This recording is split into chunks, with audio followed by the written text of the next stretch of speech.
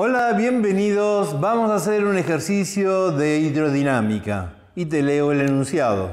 Un tanque de cierto volumen está alimentado con dos cañerías independientes y sendas canillas. Abriendo solo la canilla A, el tanque tarda 4 horas en llenarse.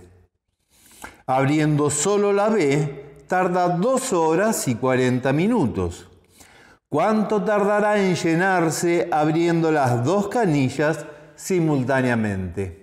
A veces este mismo ejercicio lo probamos en un formato de respuesta múltiple y varias de las respuestas son tiempos mayores que el menor tiempo que tarda cualquiera de las dos canillas o incluso mayor que el tiempo que tarda la canilla que más tarda o tiempos promedios y te sorprendería saber cuántas personas eligen esos valores cuando es obvio que estando abiertas las dos canillas la tardanza en el llenado tiene que ser menor que la canilla más rápida. ¿Cómo se resuelve este ejercicio? Lo importante es tener presente la magnitud que describe el llenado que no es otra cosa que el caudal. El caudal, acordate, era el cociente entre el volumen y el intervalo de tiempo para ese determinado volumen. Tomemos como volumen indicador el volumen del tanque lleno y vamos a llamarlo V, V mayúscula.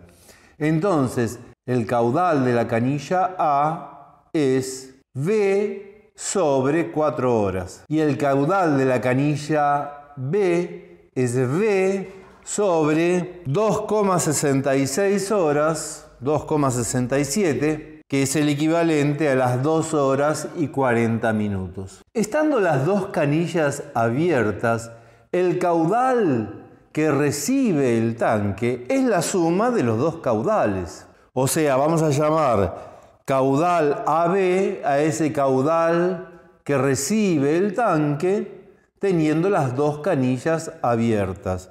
Y va a ser igual al caudal de A más el caudal de B.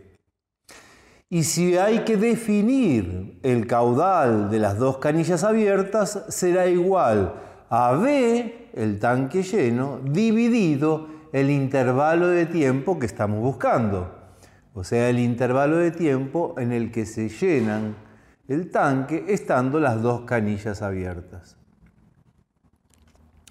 Si reemplazamos las definiciones de caudal que te acabo de dar en la suma de caudales, ¿qué nos queda? V sobre 4 horas más V sobre 2,67 horas es igual a V sobre el intervalo de tiempo de llenado con las dos canillas abiertas.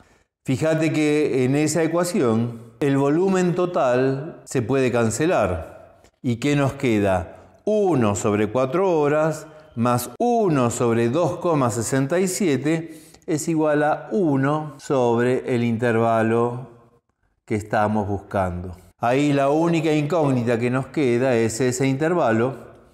Lo podemos despejar o mejor aún, podemos resolver esa suma de fracciones previamente y nos queda en el denominador el producto de los dos denominadores. 4 por 2,67 es igual a 10,67. Y en el numerador la suma, 2,67 más 4. Y eso nos da 6,67 dividido 10,67 horas Ahora sí, invertimos. De resulta que el intervalo de tiempo que tardan las dos canillas abiertas simultáneamente en llenar ese mismo tanque es igual a 1,6 horas o si lo querés en minutos, 1 hora y 36 minutos. Como ves, este ejercicio fue muy pero muy sencillo y refuerza fundamentalmente la idea de caudal que es muy importante que tengas presente a lo largo de toda la hidrodinámica. Y sin más que agregar para el ejercicio, te agradezco la atención y me despido hasta el próximo video.